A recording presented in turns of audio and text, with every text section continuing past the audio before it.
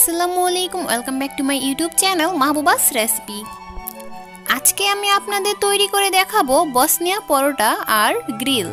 প্রতিটা বাহিরের খাবারের মধ্যেই ভেজাল থাকে, তাও আমরা বাহিরের খাবার খেতেই কিন্তু পছন্দ করি।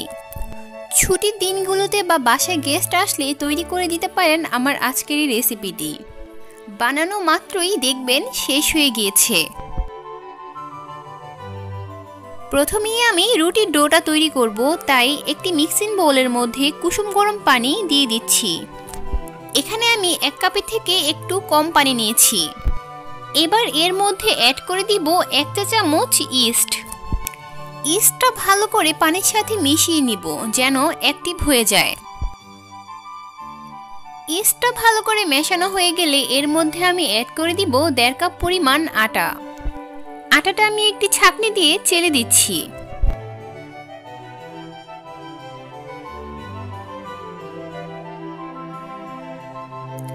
এবার এর মধ্যে অ্যাড করে দিব স্বাদ মতো লবণ। এবার এগুলো ভালো করে মাখিয়ে একটি ডো তৈরি করে নিব। এবার ডোয়ের মধ্যে অ্যাড করে দিচ্ছি দুই চা চামচের মতো সয়াবিন তেল। তেলটা দিয়ে আবারও একটু ভালো করে মাখিয়ে নিব। ডোটা যখন ভালো করে মাখানো হয়ে যাবে, এর উপরে সামান্য সয়াবিন তেল দিয়ে একটু মালিশ করে নেবেন। আর চেষ্টা করবেন ডোটা এক ঘণ্টার জন্য রেস্টে রাখতে, তাহলে এটা ফুলে দ্বিগুণ হয়ে যাবে। আজকে ডোটা আমি গরম পানির উপরে ঢেকে রাখব। গ্রিল তৈরি করার জন্য আজকে আমি মুরগির রানের দুইটা অংশ নিয়েছি। এগুলো এখন ছুরি দিয়ে মাঝে এভাবে কেটে নিব, যেন মশলাগুলো ভালো করে এর মধ্যে যেতে পারে।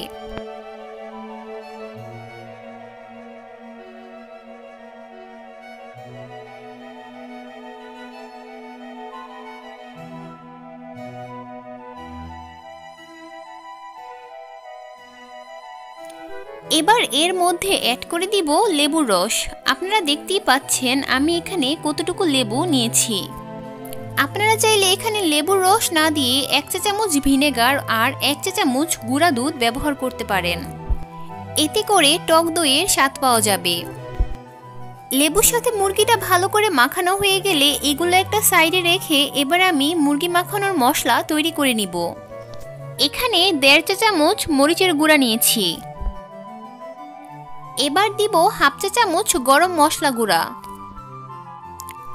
এবার অ্যাড করব এক চা চামচ চিনি আর স্বাদ মতো লবণ।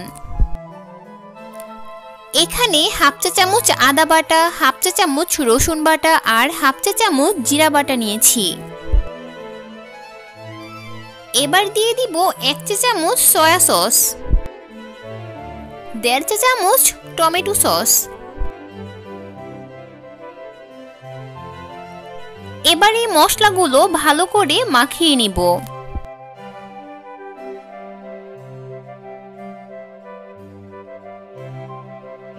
মশলাটা ভালো করে মাখিয়ে এর মধ্যে দুই চা চামচ সরিষার তেল অ্যাড করে দিচ্ছি। এবার মুরগির পিসগুলো নিয়ে ভালো করে মশলার সাথে একটু মাখিয়ে নিব। ছুরি দিয়ে কাটা অংশে মশলাগুলো ভালো করে ভরে দিব। আপনারা চাইলে এখানে এক চিমটির মতো জর্দা কালার ব্যবহার করতে পারেন। এতে করে কালারটা আরও বেশি সুন্দর আসবে।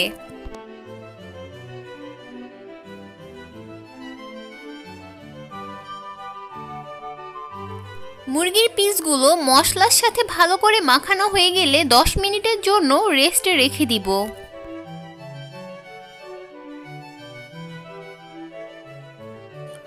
দশ মিনিট পরে চুলায় একটি পেন বসিয়ে তার মধ্যে অ্যাড করে দিচ্ছি সরিষার তেল। চুলা হাই হিটে রেখে তেলটা গরম করে নিব। তেলটা এমনভাবে গরম করতে হবে যেন পেন থেকে ধোঁয়া বের হয়। এভাবে মুরগির পিসগুলো ভাজলে অনেকটা স্মেল পাওয়া যায়। চুলা হাই হিটে রেখে মুরগির পিসগুলো দুপাশে হালকা পুড়িয়ে ভেজে নিব। মুরগির যে এক্সট্রা মশলাটা ছিল তা একটি চামচ দিয়ে আমি আবারও উপরে একটু লাগিয়ে দিচ্ছি। চুলা কিন্তু আমি কমিয়ে দেইনি, চুলা এখনও হাই হিটেই আছে। দুই মিনিটের মতো এগুলো এক পাশটা ভেজে এবার আমি এগুলো উল্টিয়ে দিচ্ছি। ঠিক এইভাবেই দুই পাশে পুড়িয়ে চুলা হাই হিটে রেখে কিন্তু ভেজে নিতে হবে। আবারও আমি একটু মশলা দিয়ে দিচ্ছি।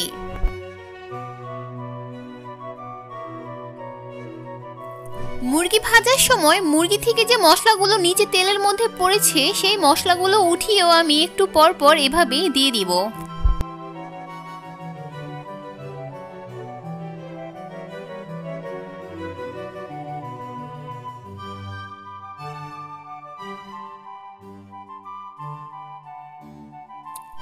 এবার একটি ঢাকনা দিয়ে ঢেকে রেখে দিব চিকেন সিদ্ধ হওয়ার জন্য, তবে অবশ্যই মাঝে কয়েকবার নেড়ে দিতে হবে। প্রায় ২০ মিনিটের মতো আমি ঢাকনা দিয়ে ঢেকে এভাবে গ্রিলটা সিদ্ধ করে নিয়েছিলাম। এটি হয়ে গিয়েছে, এবার উঠিয়ে রাখছি।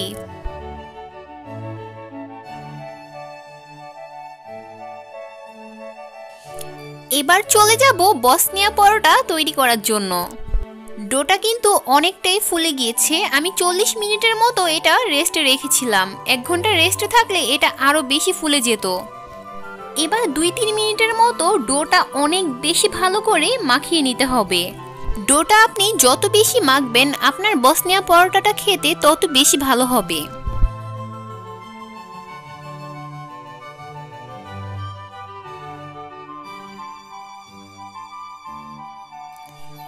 পরোটার ডোটা ভালো করে মাখানো হয়ে গেলে এবার এর থেকে আমি লিচি কেটে নিচ্ছি।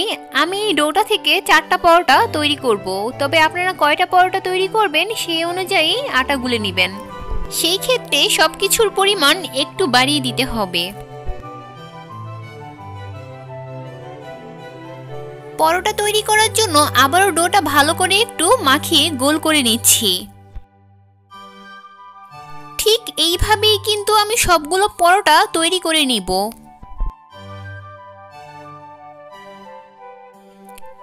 এবার এর উপরে সামান্য আটা ছড়িয়ে দিয়ে রুটির মতো করে পরোটাটা বেলে নিব।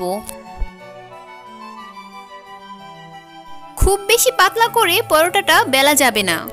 আমি আপনাদের দেখিয়ে দিচ্ছি পরোটাটা কতটুকু ভারী রাখতে হবে। পরোটাটা কিন্তু বানানোর সাথে সাথেই ভেজে নিতে হবে আর তেলটা পুরো গরম হতে হবে। তেল পুরোপুরি গরম থাকলে পরোটাটা এভাবে ফুলে উঠবে আর তেল গরম না হলে পরোটা কিন্তু ফুলে উঠবে না। পরোটাটা যখন নিচের সাইডটা গোল্ডেন কালার হয়ে যাবে, ওই পর্যায়ে পরোটাটা উল্টিয়ে দিতে হবে।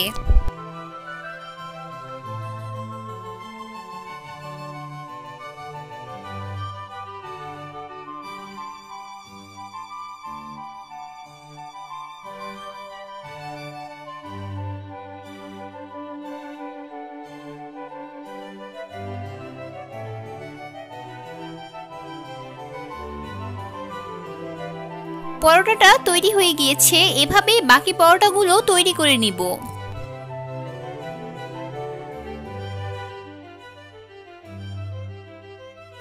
পরোটা আর গ্রিল পরিবেশন করার জন্য আমি এখানে টমেটো সস নিয়েছি নিয়েছি সামান্য পেঁয়াজ কুচি আর দুইটা কাঁচামরিচ।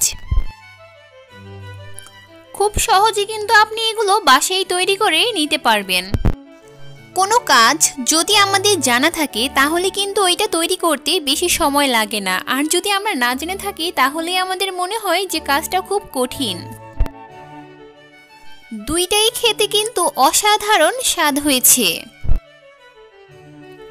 আর দেরি না করে আপনিও বাসায় তৈরি করে নিন আমার আজকের এই রেসিপিটি। আমি পরোটাটা ছিঁড়ে দেখিয়ে দিচ্ছি ভিতরে কতটা নরম হয়েছে। যারা নতুন আমার রেসিপিগুলো দেখছেন, তারা অবশ্যই কিন্তু আমার চ্যানেলটি সাবস্ক্রাইব করে আমার পাশে থাকবেন। আর বেল আইকন ক্লিক করে রাখবেন, যেন আমি ভিডিও ছাড়ার সাথে সাথে আপনি নোটিফিকেশন পেয়ে যান।